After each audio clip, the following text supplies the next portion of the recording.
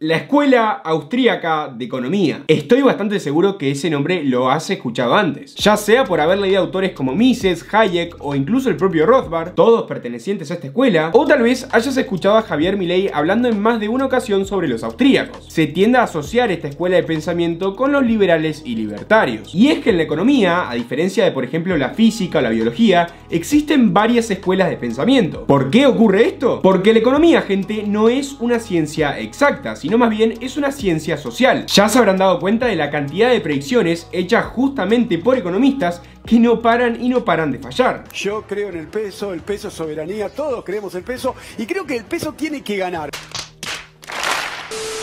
Si bien con fórmulas físicas podemos por ejemplo conocer la posición exacta de un planeta en un preciso momento o el día exacto en que va a ocurrir un eclipse, en economía no tenemos certeza de cuánto va a crecer nuestro país, de cuánto va a ser la inflación y mucho menos cuál va a ser el precio del dólar al final de año. Es justamente esta falta de certeza la que permite que varias escuelas de pensamiento puedan convivir al mismo tiempo. Escuelas con distintos modelos, metodologías y lo más importante, escuelas con distintas conclusiones. Probablemente ya conozcan algunas, como los keynesianos, los monetaristas, los neo-keynesianos e incluso a los austríacos. Ahora, es precisamente esta última, la escuela austríaca, en la que vamos a centrar este video. Y es que esta escuela, gente, se caracteriza justamente por ser una fuerte defensora del libre mercado y también por rechazar la matematización de la economía. Sí, lo escucharon bien. Para esta escuela la economía no es una ciencia empírica, es decir, que no hay que testear una afirmación para comprobar su veracidad.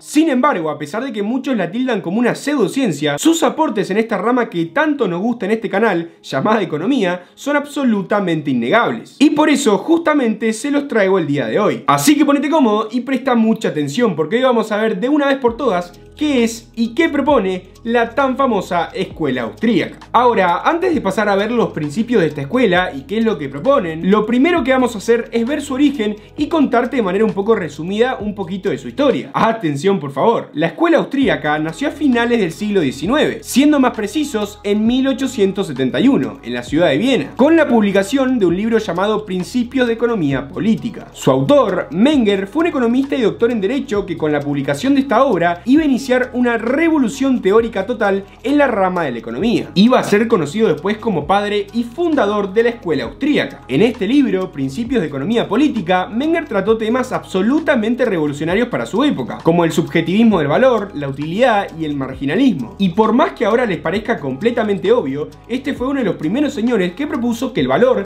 de los bienes y servicios era subjetivo por naturaleza. O sea que lo que es valioso para mí podría no serlo para vos. Les puede parecer muy obvio pero créanme que para esa época no lo era. Lástima que hay gente que todavía no entiende esto. Posteriormente, algunos personajes como von Baberg y von Weiser expandieron estas ideas a otras áreas, estableciendo de esta manera las bases de lo que se iba a llamar escuela austríaca. Ahora, esto solo era el comienzo, porque a principios del siglo XX iban a entrar en escena dos personajes muy importantes y probablemente también conocidos por ustedes, Mises y Hayek. Mises, por su lado, iba a expandir las ideas austríacas al ámbito del dinero y desarrollar una metodología que formaría parte del ADN austríaco, la famosa praxeología Esperen, se me olvidó un pequeño detalle. En el año 1922, Mises ya iba a argumentar que el socialismo era inviable en la práctica debido a la imposibilidad del cálculo económico. Sí, escucharon bien, en 1922. Imagínense la cantidad de muertes que se hubieran evitado si es que lo hubieran escuchado. Ahora, si lo hubieran escuchado, obviamente no tendríamos este clip. Eh, Volviendo al tema, Hayek, por su parte, iba a desarrollar una teoría que pretendía explicar el ciclo económico. A esto se le conoce actualmente como la teoría austríaca del ciclo económico. Y para que le den importancia, esta teoría iba a ser en parte la responsable de que le otorgaran el Premio Nobel de Economía en 1974. Economistas austríacos más recientes son Israel Kirchner y Murray Rothbard. Probablemente Rothbard le suene o lo conozcan. Y es que este señor fue el teórico y principal impulsor del anarcocapitalismo. Es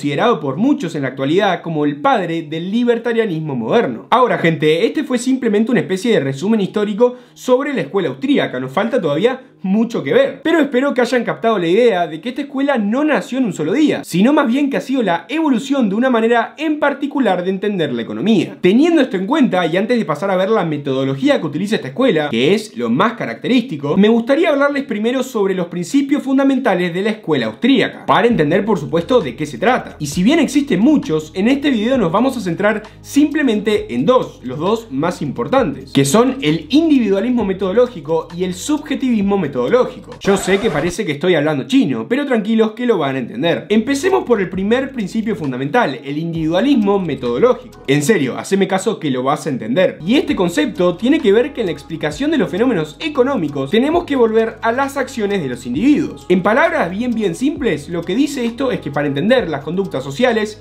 hay que entender las conductas individuales. Pasemos ahora al segundo principio fundamental, el subjetivismo metodológico. Acá sí, por favor, mucha atención. Y este concepto se refiere a que las decisiones y actuaciones de las personas se basan en una escala de valor propia y única del individuo, solo conocida por el mismo. Para la escuela austríaca, los valores individuales, los planes, las expectativas e incluso el propio entendimiento de la realidad es todo completamente subjetivo. Es por esta razón que no creen en las matemáticas y en la estadística aplicada a la economía. Según los austríacos, los procesos económicos solo necesitan ser entendidos lógicamente y las matemáticas no pueden ser aplicadas a ellos, entre otras cosas, porque dichos procesos cambian constantemente. Y es que si vos pensás que la economía no es una ciencia exacta, tiene sentido llegar a esta conclusión. Sin embargo, y esto es algo que se le critica mucho a esta escuela, esto no quiere decir que no puedas usar las matemáticas para entender ciertos procesos económicos. Las matemáticas, en mi opinión, y puedo estar equivocado, pueden llegar a ser muy útiles en economía, pero los austríacos las rechazan de raíz. Ahora, gente, habiendo visto ya los principios fundamentales,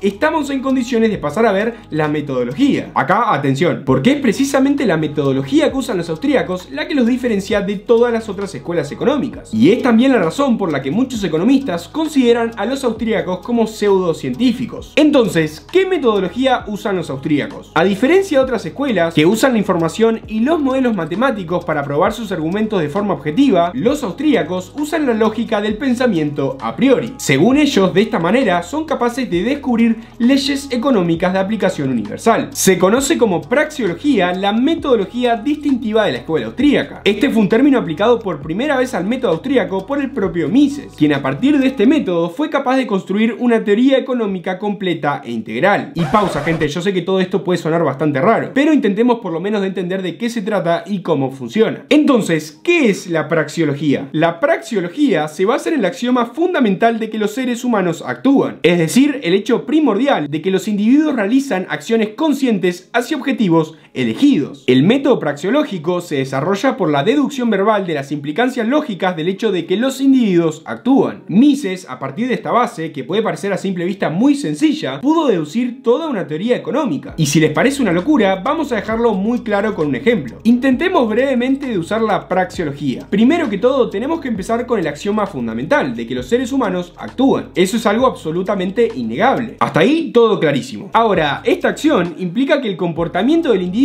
tiene un propósito, o sea que se dirige hacia objetivos, si no, obviamente no actuaría. Esto lo deducimos a partir del axioma fundamental. Además, el hecho de actuar implica que elegiste conscientemente ciertos medios para alcanzar tus objetivos. Emplear medios implica entonces que vos crees que tenés un conocimiento tecnológico de que ciertos medios lograrán tus fines deseados. Y así, gente, podríamos estar todo el día, deduciendo simplemente las implicancias lógicas del axioma fundamental de que los seres humanos actúan. Para los austríacos no hay necesidad de probar empíricamente estas conclusiones, ya que su velocidad ya se ha establecido a través del axioma inicial. De alguna manera es como intentar deducir leyes económicas universales a través de experimentos de pensamiento. Por eso justamente muchos tildan a esta escuela como una pseudociencia. Y si todo esto te parece una locura, te redirijo al libro de Mises llamado La acción humana, donde a partir de este axioma, según él, logra deducir leyes económicas de aplicación universal. De verdad, denle una oportunidad a ese libro, La acción humana. Es espectacular. Y así, explicado de manera muy sencilla y muy breve, es como funciona la praxeología, que es